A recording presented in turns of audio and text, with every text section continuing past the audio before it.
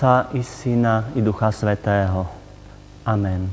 Pán s vami i s duchom Tvojim. Milí bratia a sestry, Svetá Omša je stretnutie so živým Bohom, aj keď tajopolným spôsobom. Nech sa dotkne našich srdc, potrebujeme k tomu vzbudiť si vieru, ale oľutovať svoje previnenia.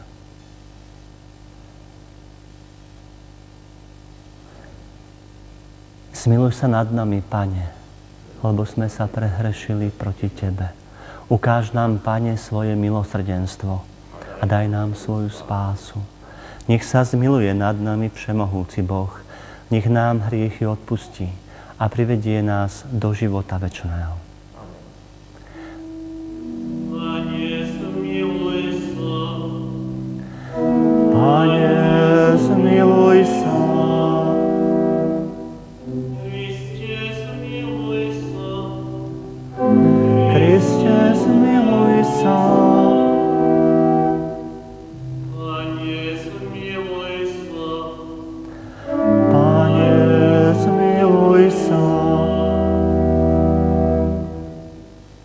Modlíme sa.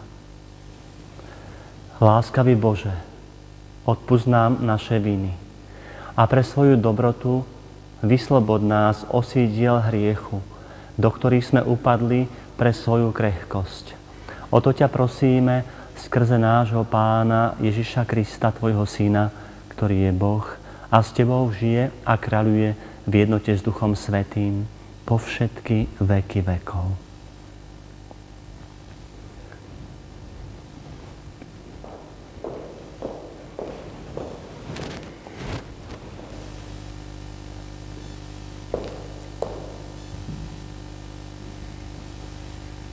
Čítanie z knihy proroka Jeremiáša.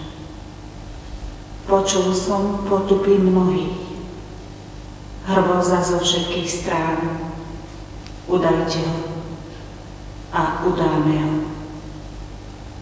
Aj tí, čo žili so mnou v priateľstve, striehnú na môj pád. Hádam sa dá oklamať. Zmocníme sa ho a vypomstíme sa na ňom. Ale Pán je so mnou mocný bojovník. Preto tí, čo ma prenasledujú, padnú a nič nezmôžu. Budú zahambení, lebo nič nedosiahnu. Bude to hamba väčšná, nezabudnutelná. Pane zástupov, čo skúšaš spravodlivého. Ty skúmaš mysel i srdce. Nech vidím Tvoju pomstu nad nimi, lebo Tebe som zveril svoj spor. Spievajte pánovi, oslavujte pána, veď vyslobodil život úbohého z ruky zločincov. Počuli sme Božie slovo. Bohu ďaká.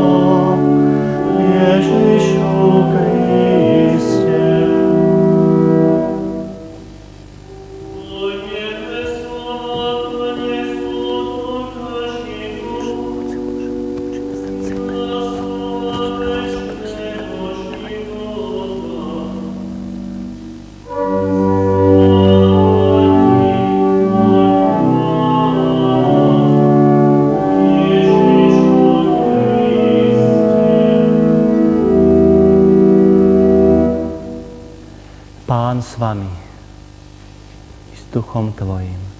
Čítanie zo svätého Evanielia podľa Jána. Sláva Tebe, Pane. Židia zdvihli kamene a chceli Ježiša kameňovať. Ježiš im povedal, ukázal som vám veľa dobrých skutkov od Otca. Pre ktorý z nich ma kameňujete?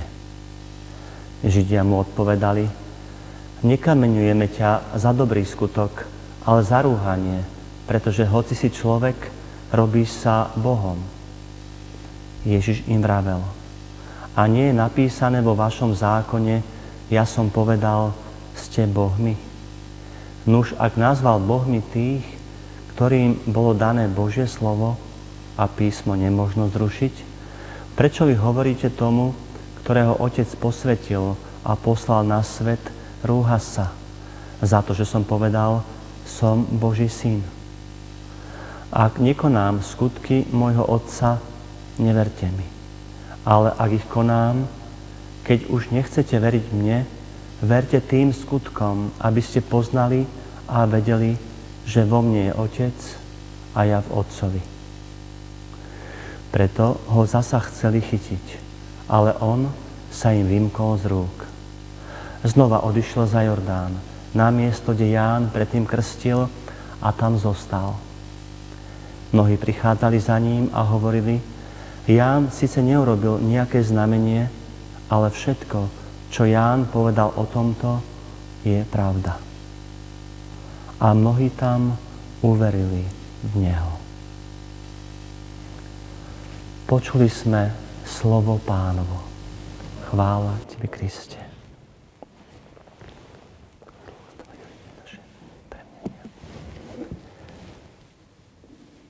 Milí bratia a sestry,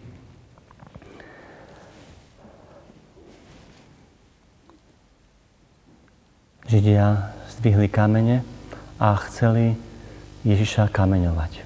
Tento prísny trest bol predpísaný vtedy, keď sa niekto rúhal Bohu, keď eh, potupoval Boha.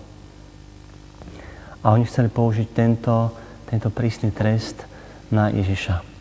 On sa bránil slovami, ukázal som vám veľa dobrých skutkov od Otca, pre ktorý z nich ma kameňujete. A mohol dodať, prečo ma chcete linčovať bez súdu, bez veľrady, bez vypočúvania, bez svetkov.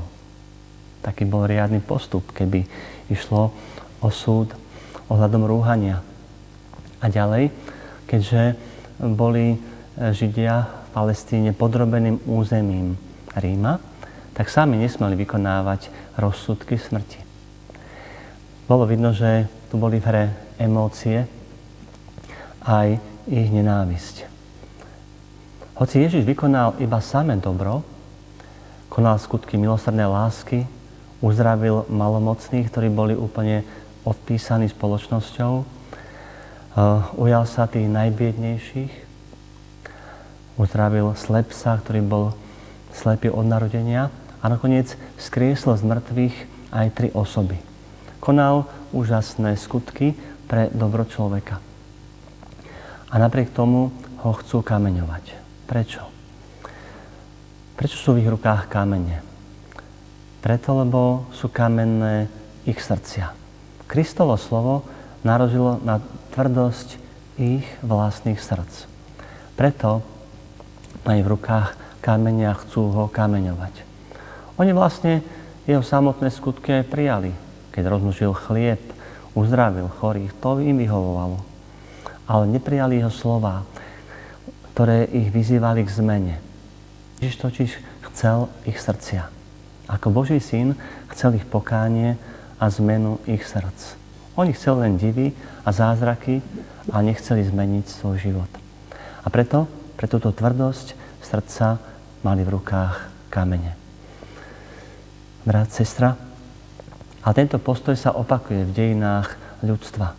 Aj keď pred nám nestojí priamo Ježiš v tejto podobe, ale človek, ktorý nám prináša pravdu, ktorý nás napomenie, ktorý nás e, postaví pred pravdu, neraz sú v našich rukách kamene. V podobe tvrdých, neláskavých slov, nenávistných pohľadov či odsudzujúcich postojov.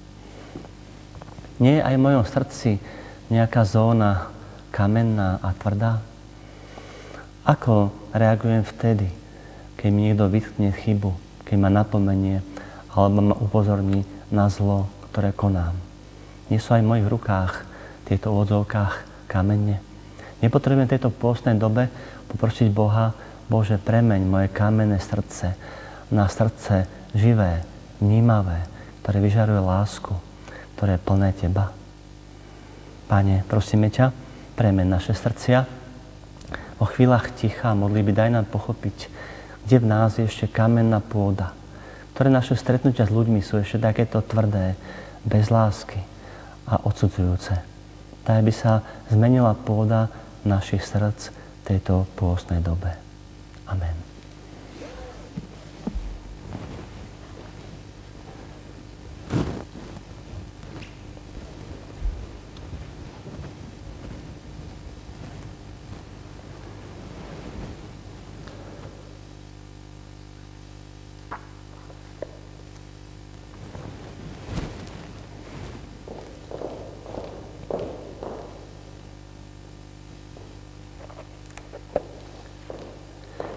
Bratia a sestry, odozdajme Bohu svoj život so všetkým, čo ho naplňa a prednesme mu svoje prosby.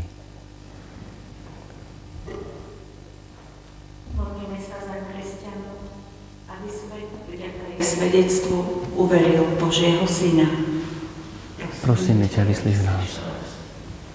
Modlíme sa za všetkých, ktorí konajú dielo milosrdnej lásky, aby našli ochotných nasledovníkov prosíme ťa. Myslíš nás. Modlíme sa za spovedníkov, aby mali radosť z každého hriešnika, ktorý sa zmieruje s Bohom. Prosíme ťa, vyslíš nás. Modlíme sa za prenasledovaných, aby neprestali dôverovať Božiu spravodlivosť. Prosíme ťa, vyslíš nás. Modlíme sa za seba samých, aby sme sa dobre pripravili na veľkonočné sviatky. Prosím. Prosíme ťa, vyslíš nás. Modlíme sa za zosnulých, aby mohli v nebi z tváre do tváre vidieť toho, ktorého na zemi poznali prostredníctvom viery. Prosíme ťa, vyslíš nás. Modlíme sa za Božie požehnanie pri operácii a za zdravie pre dceru Mariku. Prosíme ťa, vyslíš nás. Bože, zmiluj sa nad nami, vyslíš naše prosby a naplňaj naše srdcia vierou a láskou, aby sme cez kríž a umúčenie Tvojho Syna dosiahli spásu, lebo On s Tebou žije a kráľuje na veky vekov.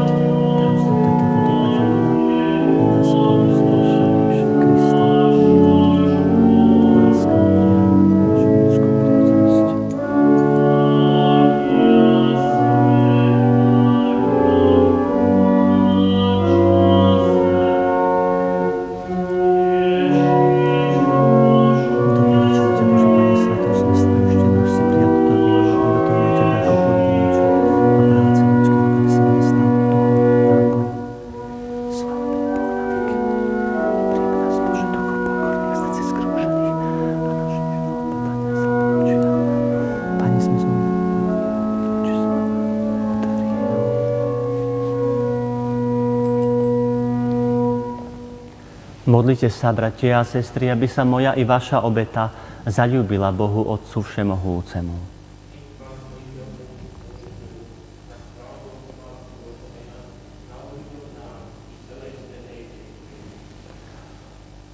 Milosrdný Bože, daj, aby sme vždy s úprimným srdcom slúžili pri Tvojom oltári a vytrvalo účasťou na obete Tvojho Syna dosiahli väčšnú spásu skrze Krista, nášho Pána.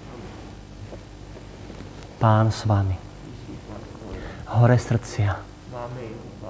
Vzdávajme vďaky Pánovi Bohu nášmu. Je to dôstojné a správne. Je naozaj dôstojné a správne dobré a spásonosné, vzdávať vďaky vždy a všade Tebe, Pane, Svetý Otče Všemohúci a Večný Bože.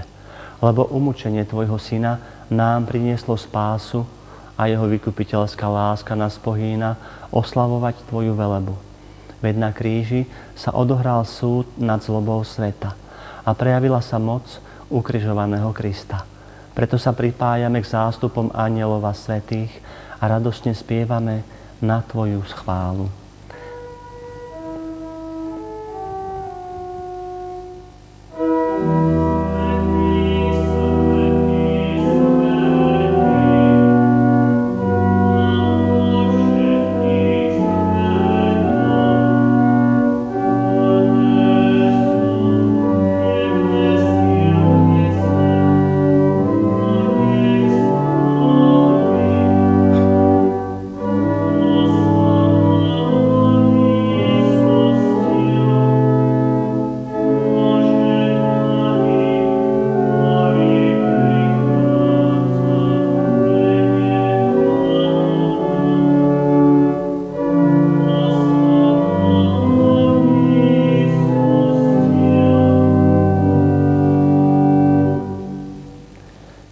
Si svetý Otče, Ty prámeň všetkej svetosti.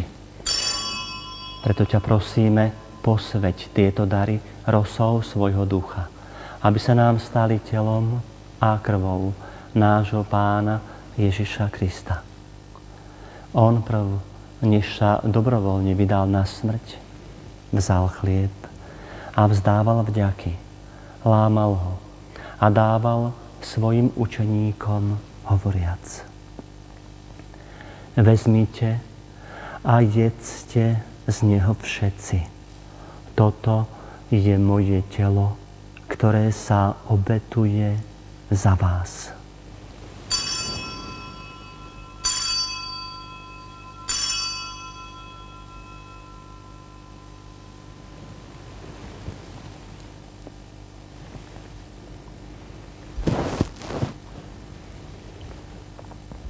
Podobne po večeri vzal kalich, znova vzdával vďaky a dal ho svojim učeníkom hovoriac.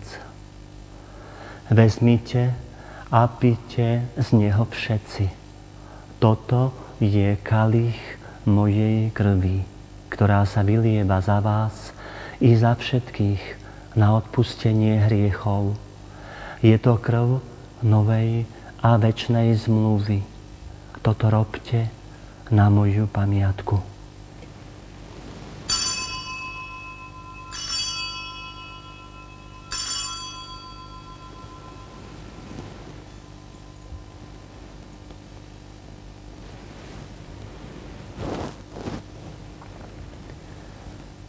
Ja tajomstvo viery. Smrť Tvoju, Pane, zvestujeme a Tvoje zmrtvých stane vyznávame, kým neprídeš sláve. Keď teda slávime pamiatku smrti a zmrtvých vstania Tvojho Syna, obetujeme Ti, Otče, chlieb života a kalich spásy. Ďakujeme Ti, že si nás uznal za hodných stáť pre Tvojou tvárou a Tebe slúžiť. Pokorne ťa prosíme, nech nás všetkých, ktorí máme účasť na Kristovom tele a krvi, združí v jedno Duch Svetý. Pamätaj, Otče, na svoju církev rozšírenú po celom svete a vedú k dokonalej láske v jednote s našim pápežom Františkom a s našim biskupom Jánom i so všetkými kňazmi a diakonmi. Pamätaj na našich bratov a sestry, čo zomreli v nádeji na vzkriesenie i na všetkých, ktorí v Tvojej milosti odišli z tohto sveta a dovolím uvidieť svetlo Tvojej tváre Prosíme ťa, zmiluj sa nad nami všetkými, aby sme si zaslúžili účasť na väčšnom živote v spoločenstve so Svetou Bohorodičkou, Pánnou Máriou, so Svetým Jozefom Ježeníchom, s blaženými apoštolmi a so všetkými svetými, ktorých si mal od vekov zaľúbenie, že by sme ťa mohli chváliť a oslavovať skrze Tvojho Syna Ježiša Krista. Skrze Krista s Kristom a v Kristovi. Máš Ty, Bože, Otče Všemohúci, v jednote s Duchom Svetým všetku úctu a slávu po všetky veky vekov. Amen.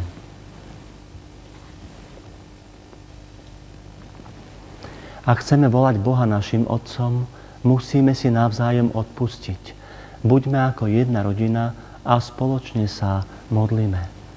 Otče náš, ktorý si na nebesiach, posveď sa meno Tvoje, príď kráľovstvo Tvoje, buď vôľa Tvoja, ako v nebi, tak i na zemi. Chlieb náš každodenný daj nám dnes a odpúsť nám naše viny, ako i my odpúšťame svojim vinníkom. A neuved nás do pokušenia, ale zbav nás zlého.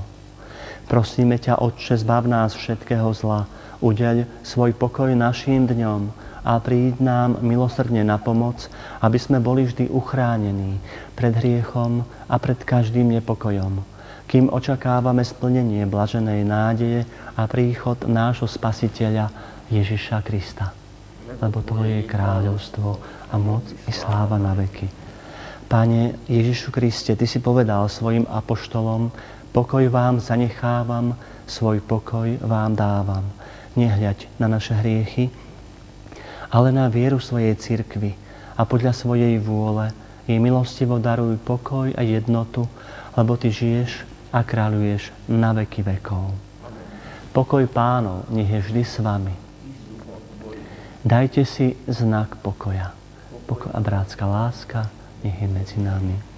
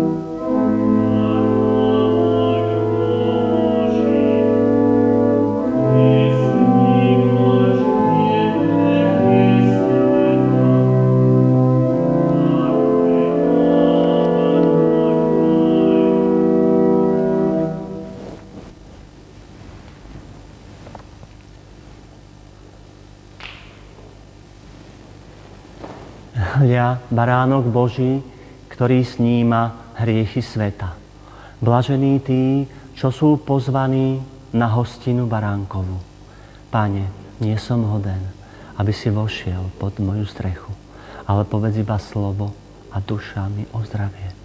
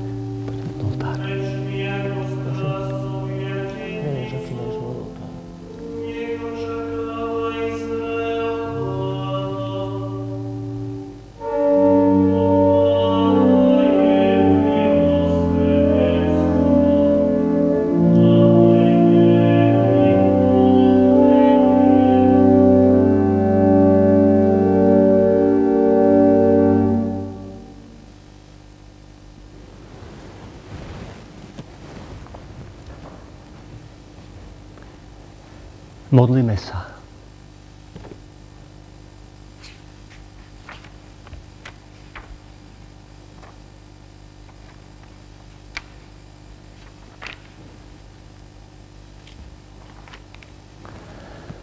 Dobrotivý Otče, daj, aby nám sviatosť, ktorú sme prijali, poskytovala ústavičnú ochranu a odvrátila od nás všetko škodlivé skrze Krista, nášho pána.